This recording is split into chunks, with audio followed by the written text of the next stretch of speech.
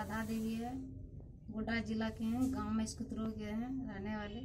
पहले लाइन नहीं था तो हम लोग को बहुत तकलीफ़ होता था, दिक्कत होता था।